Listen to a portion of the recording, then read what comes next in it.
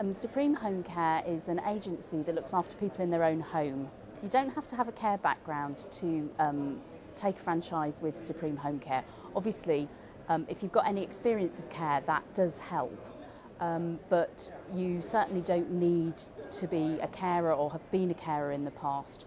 Um, what we're really looking for are um, a combination of skills in the people that become franchisees. We're looking for someone with a business background because it is, you know, clearly a business, but we're also looking for, and if you don't have a care background, you must look for someone who has got care experience who can become the registered care manager for the organisation.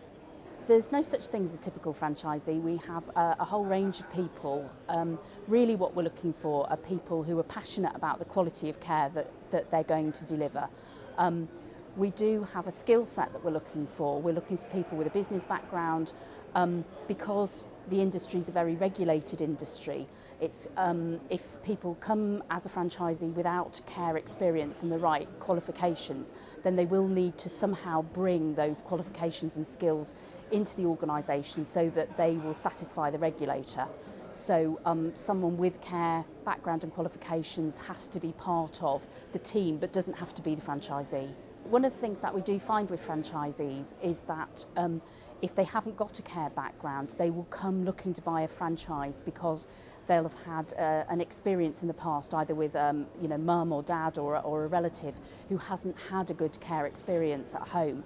Um, and that's what will fire them up and want them to set up a service themselves that will deliver the sort of quality of care that Jackie, my business partner, and I are looking for.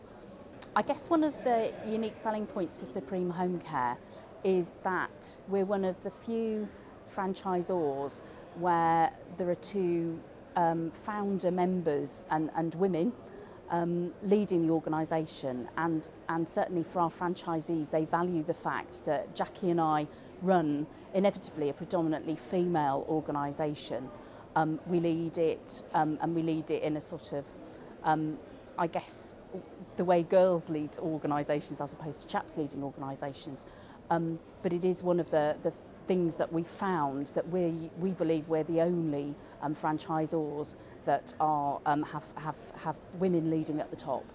To get more information about the franchise, it's very simple. Um, either ring me um, on 01952 216700 or um, log on and go to the website, which is www.supreme-homecare.com.